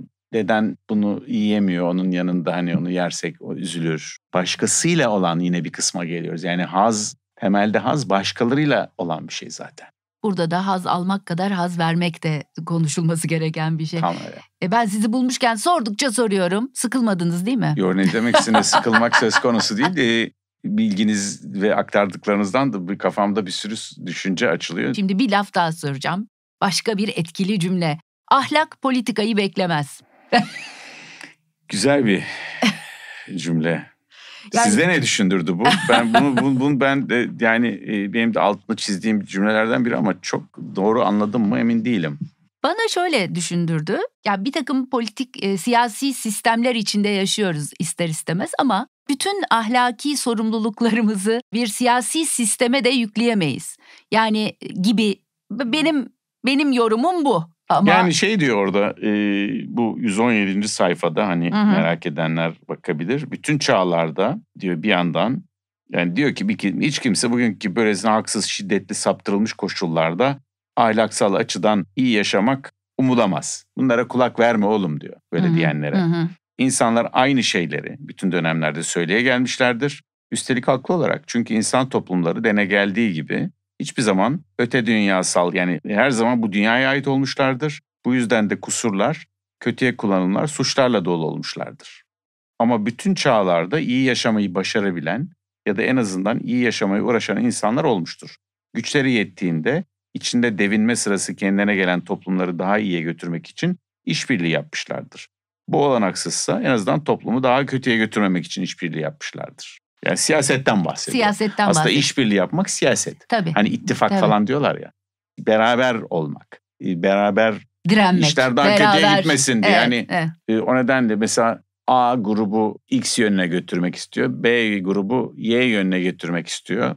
Ama C grubunun götürdüğü yöne gitmek istememek konusunda fikir birliğindeyseler işbirliği yapıyorlar. Evet. Burada yani işbirliği kültürünün gelişmesi de başka biriyle oturup konuşmak, düşünmek, ortak yol aramak hep bunlar konuşuluyor ya bahsettiğimiz. Hı hı. Ama örneğin bunu mesela bir spor yaptığınızda bunu geliştiriyorsunuz. Arkadaşlarınızla birlikte e, Takım takımın sporları. kazanması Hı hı. için. Aslında bireysel sporlarda da takım var bu Tabii. arada. Elbette. Ee, Ardında mesela- bir takım evet, var onun tabii da. orada da bir takım var. Hani e, baktığınızda yaptığınızla sadece kendinize kazandırdıklarınızı ötesini düşünmeye başlatan Hı. Aktiviteler. Ya da laboratuvarda çalıştığınızda, bir laboratuvarda bir dörtlü öğrenci grubu olduğunuzda sadece bir kişinin her şeyi yapıp üç, kişinin seyrettiği ve öbürünün hazırladıklarına konduğu bir durum da olabiliyor birçok yerde. Tabii. Beraberce ama bunu gözeterek tasarlanmış öğretmenlerin buna göre tasarladığı deneyleri yaptığınızda herkesin bir şey yapması Hı hı. sağlayan sistemler olduğunda da işbirliği gelişiyor. İşbirliğinin insan gelişiminde, barışta birçok yerde bir rolü var. Yani bu psikolojik bir kavram gibi sadece düşünmemeli. Ama bunu biz 30'undan 40'ından sonra insanlara takım çalışması vesaire işte öğrensinler diye yelkenliğe bindirip gezdiriyorsunuz CEO'ları şunları bunları. Hani belki takım çalışmasını öğrenirler diye. Orada öğreniyor ama dönüp gittiği yerde uygulayamıyor. Uygulamıyor. Çünkü birazcık daha küçük yaşlarda tabii bu herkes böyledir anlamına değil beni bağışlasın böyle yapmış olanlar. Yaptıkları işi küçümsemiyorum yani. Ama daha çok kimsenin yapabilmesi açısından bu kültürü beslemekle ilgili. Ama hayatta kalmayı can havliyle hareket etme diye hani tanımadığım Hı hı. tetikleyen yaşam ortamlarında günümüz dünyası özellikle son 25-30 yıldır e, olduğu gibi işbirliğinden ziyade işbirliği ve müzakereden ziyade boyun eğme ön plana geçiyor. Biraz önce güvenden bahsettiniz aslında. evet. Sabater güveni çok kullandığı bir şey Değil bence. değil değil mi? Hiç Orada yani geçmiyor. Bence Sözcük eks- olarak güven sözcüğü neredeyse yok gibi. Hani özgürlük var, özgür Evet, bir seçimler. kendine güven var birkaç Evet, yerde. evet. Ama benim kastettiğim mesela kendine güven, başkalarına güvenebilmek aslında en büyük mutluluk. Hı hı. Çünkü başkalarına güvenemiyorsak ve dünyada bir tek sadece kendimize güveniyorsak bu bayağı gerçekten kopuk bir dünya. Çok Gerçek bir kendine güven oluşabilir mi başkalarına güvenemeden? Ben oluşabildiğini görmedim yani oradaki şeyde Hı. ama şöyle yani başka geçici olarak başkalarını tahakküm altında tutarak vesaire gibi hani bir tek kendime güvenirim kimseye güvenmem lafı ile simgelersek o nedenle çocukların başkalarına güvenmek bir ihtiyaç bundan dolayı vurguluyorum. Evet, Yani bir tercih bile değil. doğru. Bu ihtiyaç güvenebilme ihtiyacı biraz önce bahsettiğim bu marshmallow testindeki öğretmenin sözünü tutacağına güvenmediği için ve bir daha şimdi alır götürürler önümdeki lokmayı diye alıp ağzına Bundan da oluruz. e, çocuk ha, elimizdekini de kaybetmeyelim bari ikincisi olmasa da olur diyen çocuk güvenebildiği takdirde daha fazla tatmin olma şansına sahip. Yani çok basitçe Evet, düşündüğünüzde. evet. O nedenle güvenme bir ihtiyaç Ve güvenin ana biyolojik parçaları insan beyninde güvenle ilgili, güvenebilmeyle ilgili sistemlerin olduğunu gösteren çalışmalar var. İlk 3 yılda, 3-4 yılda oluşuyor. Peki ne yapalım? Hani 3-4 yılda oluşturamadık sonra oluşturamayız anlamına gelmiyor ama şu demek. Özellikle anne baba ruh sağlığı iyi olduğunda, anne babaların hmm. çocuk büyütme döneminde daha rahat ettiklerinde, desteklendiklerinde daha güvenli bir ortam ve insanları bir çocukla çocuğun güvenebildiği bir ortam oluşturabiliyorsunuz. Ama anne baba kendinde değilse, dünyaya başladığınızda anne babanızdan başlıyor. Dünya güvenli bir yer değilse, üstünüze bombalar yağan bir ülkede yaşadığınızda ya da insanların sesini çıkarmaya korktuğu bir ülkede yaşadığınızda güven duygusunun ortaya çıkması çok çok daha dar ölçütlere bağlı kalıyor. Zor, daha zor. O yüzden güvensizlik, kimselere güvenememe işbirliğinin önündeki ana en büyük engellerden biri. Evet. Yani hani mesela birinin borcunu ödeyeceğine inanmıyorsunuz. Yani şimdi enflasyon dönemlerinde hmm. enflasyonun ahlakla ilişkisi üzerine e, makaleler var bazı yerlerde. E çünkü can havli yani başkasını batıp batmamasına sizin su yüzünüzde kalmanıza bağlı. Doğru, evet. Ah, siyasete geldik. Bir Aa, siyasi... Her şey her yol oraya çıkıyor. evet çıkıyor ister istemez. Hangi nasıl siyasi düzenler ahlakidir'i de sorguluyor Savater. Buradan ben şurayı soracağım özellikle. İstene bir politik toplum acı çeken insanlara, kendilerine yetemeyenlere yardım etmeyi güvence altına almalıdır diyor Savater. Buradan e, ama bu özgürlük pahasına olmamalıdır ya da insanın onuru pahasına olmamalıdır diyor. Ben bu bu cümle bağlamında siyasal düzenler pandemiden alınlarının akıyla çıktılar mı sizce diye sormak istiyorum. Bu soruya tam bir cevap verebilir miyim emin değilim ama ne çağrıştırdıklarını evet. söyleyebilirim. Yani şöyle bir kere yaşam bir hak. Hı hı. İnsanca yaşamak da bir hak. Onurlu, haysiyetli bir şekilde. O nedenle biraz önce engellilik çok değişik durumlar insan yaşamında engellilik geçici olarak oluşturabiliyor, kalıcı olarak oluşturabiliyor. Zaman içinde ortaya çıkan engellilikler var, yaşla vesaire. İnsanca yaşam hakkını özellikle en ihtiyacı olanlara nasıl tanıdığınız da önemli. Evet. Ve bunu bir sadaka, işte hayır vesaire gibi yapmakla bir görev olarak yapmak bence politik sistemler arasındaki farkları tanımlayan şeylerden evet, Depremde çok konuştuğumuz yardım mı dayanışma mı evet. e, ikilemi evet, mesela tabii, değil yard mi? Ve bir kısmında bir görev. Evet, yani hani evet. onu o nedenle lütfedilip yapılan bir durum olmadı. Yani zorda kalan, ihtiyacı olanlara yani bu pandemi de böyleydi. Hı. Yardım etmenin, destek olmanın Örneğin işte oldu yaşadığınız yerdeki bir yaşlı için gidip alışveriş etmenin sokağa çıkamadıkları e, Önemli. durumu hatırlayın yani 65 yaş yani e, bu arada yaşlıların bayağı yaş hakkını grubu. yedik ve hayatlarından evet. çaldık tabii. Evet yaşamaların yaşamın bir kısmı bilgi eksikliği sebebiyle iyi niyetlerle vesaire olabilir ama oradaki davranış yani dayanışma davranışının ortaya çıkması da görevleri siyasi yapı açısından düşündüğümüzde siyasi yapılar dayanışmayı organize etmeyi ve bunun birinci derecede bir kaynak ayrılması gereken bir şey e, olduğunu ilke edinenler. Bunun bir başka örneği çocuklarla ilgili konularda görüyoruz. Hmm. Çocukları herkes işte çocuklar çiçektir, başımızın tacıdır vesaire de, dese de bütçelere baktığınızda çocuklara ayrılan doğrudan yani birçok şey için çocuklarla ilgili olduğu iddia edilebilir. Yani tabii Türkiye'nin ya da ülkenin geleceğine ayrılan yapılan yatırımlar, işte yollar, şunlar bunlar da olabilir yani sonuçta çocuklarımız için yapıldığı argümanı geliştirilebilir orada. Ama doğrudan çocuklar için yapılan birçok konunun çocuklar için Türkiye'de bulunan aşılardan tutun okul öncesi eğitimin herkes için ulaşılabilir Hı. olmasına, 3 yaş altı çocukların gelişimi için sağlanabilecek beslenme, okul çağındakiler için de beslenme desteklerine kadar her şey lütfen ucundan kenarından kalanlarla alıyor. Yani gençlerle ilgili baktığınızda gençlerin hani yeme içme hak öğrencilik yapan ya da çalış çalışan gençler için de aynı şey geçerli. E, yeme içmeleri bile riskte. Yani bunu barınmaları da riskte. Barınmaları mesela riskte. yurtlarda olanları evet. yani görüyoruz. Beslenmek evet. ve barınmaktan bahsediyoruz. Evet.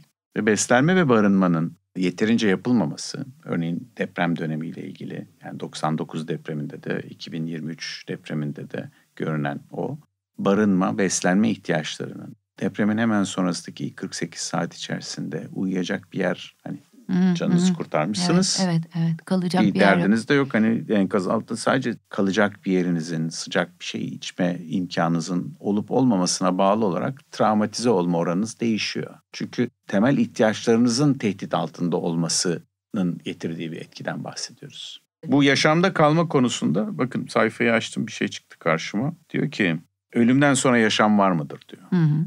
Ölüm sayesinde ölümü kabul ederek, kullanarak, onun gönlüne ederek elde edilebilecek her şeyi yatsıyorum. İster bu dünyada mutluluk olsun, ister öte dünyada öncesiz sonrasız yaşam. Beni ilgilendiren ölümden sonra yaşam olup olmadığı değil, ölümden önce yaşamın olup olmadığıdır. Bu, yaşamın iyi olup olmadığıdır.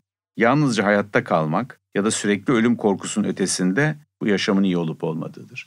Aslında bütün bu konuştuklarımız, Evet. engellerin dünyasından, çocuklara ayrılan bütçelere, hazın ertelenmesini öğrenmek ama hazı yaşamaktan vazgeçmemeyi hepsi iyi yaşamakla ilgili. Evet. Zaten bütün kitapta iyi yaşamakla ilgili. Evet. İyi yaşamak yani yiyip içip böyle lüks gezi Evet. içinde yaşamayı kastetmiyor. Yani birçok kişi hemen öyle algılamasın. Alakası da yok yani aslında. Dolu yaşamak belki Hakkını diyebiliriz. Hakkını yaşamak. vermek diyebiliriz.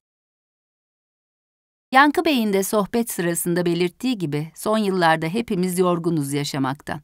Bir yanda savaşlar sürüyor hala. Öte yanda geçim derdi belimizi bükmekten hiç vazgeçmiyor. Depremler, seller, felaketler. Farklı düşünenlerin birbirine düşman olduğu bir coğrafyada nefret, şiddet duygularıyla, adaletsizlikle, yoksulluk ve yoksunluklarla kavruluyoruz. Ama bunlara rağmen, bunlara inat yaşıyoruz, yaşamalıyız. Bu yaşamak işini hep beraber ciddiye almalıyız. İşte Nazım'ın dediği gibi. Yani öylesine ciddiye alacaksın ki yaşamayı, yetmişinde bile mesela zeytin dikeceksin. Hem de öyle çocuklara falan kalır diye değil. Ölmekten korktuğun halde ölüme inanmadığın için. Yaşamak yani ağır bastığında. Bu kitap yani daha konuşursak çok konuşacağız ama oğluma ahlak üstüne öğütlere yani siz yazsanız böyle bir kitap. Şurası eksik kalmış. Şunu eklemek isterdim dediğiniz bir şey var mı? Bir de bu başlığa kızımızı eklesek, Türkiye'deki kızımızı eklesek neleri değiştirirdik ya da neleri eklerdik? Evet bu oğul kız konusu herhalde özellikle ülkemizde belki daha çok fark getirirdi. Kızıma deseydim kitabın adında ahlak kelimesini kullanmazdım. Çünkü kızlara Hmm. herkes ahlak hocalığı yapmakla kızlara, genç kadınlara, yaşlı kadınlara fark etmez. O nedenle o kelimeyi kullanmazdım. Çağrışımı nedeniyle.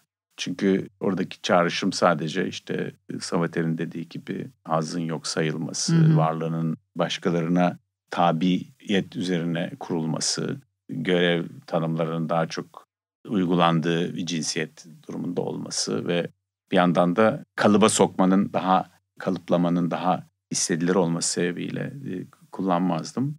Çocuklarıma diye herhalde derdim. Hı hı. E, yani çünkü sonuçta Sizde ikisi de var. Evet.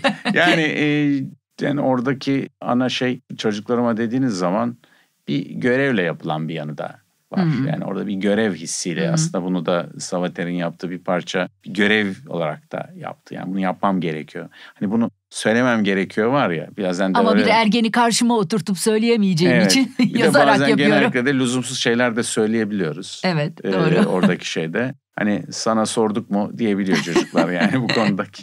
Hani sorulmadan verilen tavsiyeler kitabı diye de olabilirdi. Ama belki sorarsın diye. belki Olur lazım. ha. Hani bulunsun diye. Karnın Belki acıkır diye cebine, olur. e, cebine konmuş bir yolluk poğaça gibi. Karnım tok yolda acıkırsın evladım dediğimizdeki tarzda bir şey. Evet. Yani yemek zorunda değilsin ya da tutmak zorunda değilsin. O hissi verecek bir şey bulmak isterdim yaptığımda. Çünkü empoze edici olmayı arzu etmem. Yani oradaki özellikle kadınlara Hı hı. öğüt bir genç kız çocuğuna verdiğiniz zaman öğüdü tutmamış olmanın sıkıntısını daha çok yaşıyorlar. Böyle bir fark var. Cinsiyette dayalı e, bir fark var. Verilen ödevi yapmak gibi. Hı hı. Bunun kültürel, ideolojik determinantları üzerine burada konuşmayacağım. Ama böyle bir durum Çoğumuz olduğu görev için kadınıyız ya. böyle bir durum ortaya çıkartmamak önemli olurdu. Hı hı. Ee, Savater'in hani birçok yerde hani bu gülebilen zeka diye bir kavram kullanıyor. Evet. Hani ben mizahı, neşeyi daha çok nasıl kordum diye düşünürdüm. Hı. O da fena çok- koymamış Evet, değil mi? e, çok Güz- şey var. Güzel, Yani- neşeli ve kendini de eleştiren tatlı bir Evet. şeyi var. Yani ben e, o yüzden kendim belki bunu çizgilerle yapardım. Ee, siz tam onu diyecektim Evet. kesin. Yani çizgi her zaman e, böyle e, espri anlamına gelmiyor ama çizginin bir hafifletici bir yanı var. Bir yandan da sayfaların akışını yumuşatıyor ki bu kalın bir kitap değil ama ben gördüğünüz gibi bir takım çizgiler mizgiler sağına soluna koymuşum her kitabı olduğu gibi ıslanmış falan böyle. Yazdıklarım yayılmış. Kitap da çok görmüş geçirmiş. Çok çok tecrübeli bir kitap evet olmuş. Bunun- yaşamış yani. Belki bunu Instagram'a koyarım. Hakkını vermiş e, hayatın e, kitabınız. Evet. Yani burada şöyle bir şey. Yani mutlu olmak, mutlu etmeyi de içeriyor. Yani iyi yaşamaya çalışmak, evet. temelde başkalarını iyi yaşatmaktan çok farklı bir şey olamaz. Bu sözcüğü, bunun üzerine, bu cümle üzerine bence bu kitabın e, mesajına daha da fazla bir şey eklemezdim. Bunun daha çok altını çizerdim. Başkalarının iyi yaşaması için uğraşmak. Çünkü böyle yaptığımız zaman zaten biz de iyi yaşıyoruz. Siz genç danışanlarınıza kitap önerir misiniz? Cesaretimi toplayıp önerdiğim oluyor. Öyle mi? Ee, bazen onların okuduğu kitapları daha çok merak ediyorum. Küçük çocuklarda çocuk kitapları çok sevdiğim kitaplar oluyor. Tabii çocuk kitaplarının çoğunda çok güzel resimler olabiliyor. Mesela bu Leyla Fonten takma adıyla yazan bir yazarın. Tülin Kozikoğlu. Evet, e, psikoloji eğitimli bir hanımefendi. Evet, sınıf arkadaşım. Öyle midir? Evet, Aa, Boğaziçi'nden sınıf Benim çok arkadaşım. beğendiğim, yani bir sürü başka kişi var. Mavisel Yener'in kitaplarını beğeniyorum. Beyiç Akın Zaten yazdıkları, çizdikleri müthiş. Bunları genellikle çocuklara tavsiye ederim. Başka bu arada e, ismini hatırlamadım. Burada yazarlar üzül, darılmasınlar. Çizerler bence müthiş oluyor. Birçok çizgi çizerlerin de bence çocuk kitaplarında mesela Çok önemi var. Sedat Resimli Girgin'in kitaplarda çizgileri değil mi? vardı. Beyiç zaten kendi çiziyor. Şafak Okdemir'in yaptığı yine çevreyle ilgili kitaplar var. Evet, evet.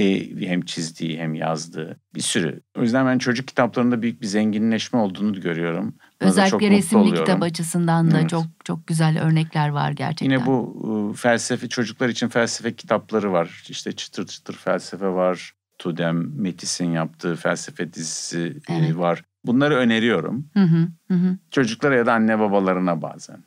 Daha çok çocukları söylediniz. Gençleri biraz es geçtiniz. Gençlerde birazcık Onlara yani bir şey onların, öneremiyor musunuz? onların kendileri arayıp bulabilir. Onlar ne okuyorlar diye öğrenmek istiyorsunuz ama Evet anladığım soruyorum. kadarıyla. Oradaki şeyde klasik kitapları okumak her zaman iyi. Sineklerin Tanrısından tutun. Roald Dahl'lar bence her zaman Hmm. ilginç. Hı hı, Resimleri müthiş. Quentin Blake'in yaptıkları özellikle. hı hı.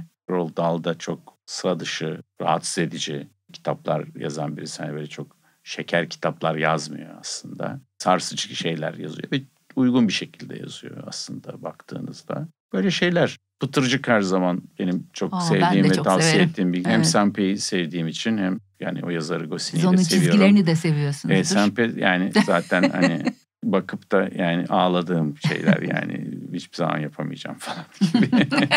yani böyle şeyler. Yani ben resim ve çizginin kullanılmasını kendim bir şeyler yapmaya çalıştığım için hakikaten farklı bir etkisi olduğunu düşünüyorum. O nedenle grafik romanlar gençlerin daha mesela onları bazen onlardan tavsiye ettiklerim hı, hı e, olur. İngilizce'de daha çok var ama güzel Türkçe tercüme de çok var. Bazı yayın evleri özellikle evet, bu işe arttı onlar da. işte Kara Karga var, Siz nasıl bir okursunuz diye onu da kısaca bir sorayım. Ben Daha çok, çok ne kitap oku- alan, az okuyan okurlardanım.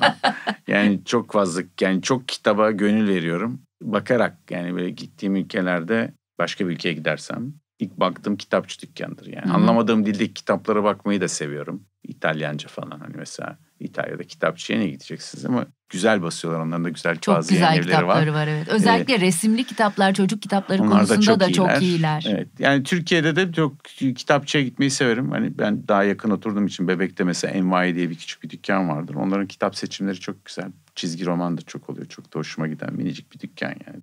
Başka kitapçılarda da Beyoğlu'nda Homer falan oraya gidiyorum. Hı hı. Yani kitapçıda zaman geçirmeyi seviyorum. İşte Remzi'nin kitabı severim evimin yakınında. Kitap almadan çıkmayı da ayıp görüyorum yani. yani bir kahve dükkanına gidip bir kahve içmeden çıkmak gibi bir şey.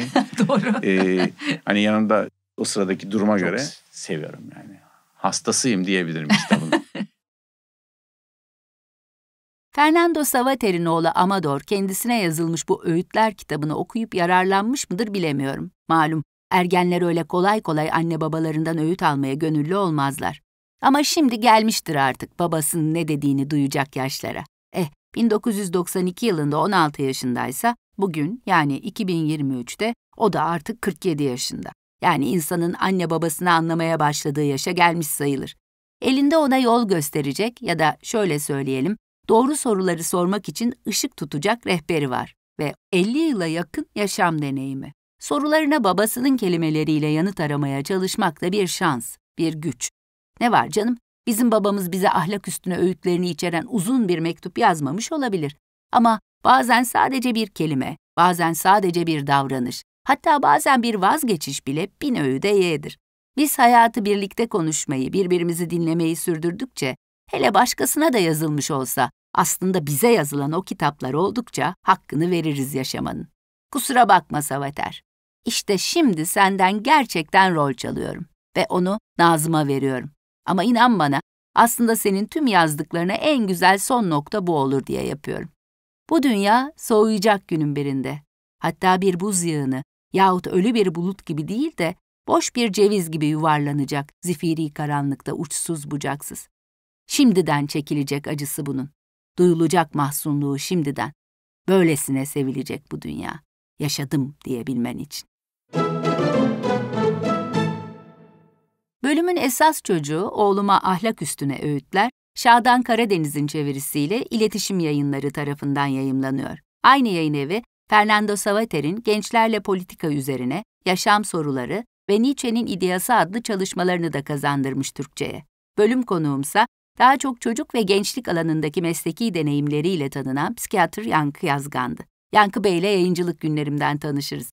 Hem yazıları hem çizimleriyle yıllardır ulaşıyor okurlara. Kitaplarından bazılarının adlarını analım. Düşe kalka büyümek, kalp çarpar, beyin böler, çocuğunuz sizden ne bekliyor, kalbinle düşün, aklınla hisset, hiperaktif çocuk okulda, söz uçmuş, yazı kalmış, bir tatlı telaş. Ayrıca onun Çocuklu Hayat adlı çalışmasının sesli versiyonunu Storytel TR'de bulabileceğinizi de söyleyelim. Ve Yankı Yazgan'la Herkes için Psikiyatri adlı podcast'ini de önerelim. Onunla hayatın hakkını vermek üzerine konuşmak büyük bir zevkti. İyi ki Oğluma Ahlak Üstüne Öğütler adlı kitabı seçmiş. Ne güzel vesile oldu. Ağzınıza, ayağınıza sağlık Yankı Bey. İyi ki geldiniz. Savater'in kitabı kolay okunuyor. Merak edenler hani kitabı okuduklarında bu sohbetimizden daha fazla orada şey bulacaklarından şüphemiz yok. Yani kitap hakkında incecik bir kitap olmakla birlikte kocaman bir kitabın komprime hali gibi. Evet, ben okurumun bir bölümünün daha sonuna geldik. Ama malum okuma serüvenimizin sonu yok. Bana kitap önerilerinizi yazmak isterseniz e-posta adresim ben okurum 2020 at gmail.com ve son sözü oğluma ahlak üstüne öğütlere bırakıyoruz. Şimdi sıra milyonların sorduğu soruya geldi. Yaşamda sahip olabileceğimiz en büyük doyum nedir? Bir çabadan, bir okşayış, bir yumuşak sözcük, müzik, bilinç, bir makine ya da dağ gibi yığılmış paralar, saygınlık, ün, erk, aşk, etik ya da sana görünen şeyden gelen en incelmiş karşılık nedir? Seni uyarıyorum. Yanıt öylesine basit ki bu yüzden yanılma riskini içerir. Ne olursa olsun herhangi bir şeyden elde edebileceğimiz en fazla şey mutluluktur. Bizi mutlu kılan şeyin tümüyle haklı bir dayanağı vardır. Mutlak olarak değilse de en azından belli bir bakış açısından. Bizi umarsızca mutluluktan uzaklaştıran şey ise yanlış bir yoldur. Mutluluk nedir? Kendiliğinden içimizden doğan bir evettir. Olduğumuz, daha doğrusu olduğumuzu hissettiğimiz şeye bir evet. Mutlu olan büyük ödülü almıştır zaten. Hiçbir şeyin eksikliğini duymaz. Mutsuz olansa nedenli bilgili, güzel, akıllı, varlıklı, güçlü, sağlıklı olursa olsun en önemli şeyden yoksun bir zavallıdır. Kulak ver bana.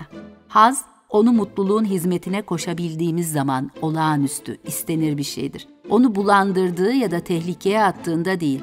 Hazın olumsuz sınırı acı, hatta ölüm değil, mutluluktur. Belirli bir haz uğruna bu mutluluğu yitirmeye başladığımız zaman bize uygun olmayan bir şeyin tadına vardığımız kesindir. Gerçek şu ki mutluluk beni anlıyor musun bilmiyorum ama söyleyeceklerimi daha iyi dile getiremiyorum. Hazla acıyı, yaşamla ölümü kucaklayan bir yaşantıdır. Kesin olarak mutluluk hazla acıyı, yaşamla ölümü kabul etmektir.''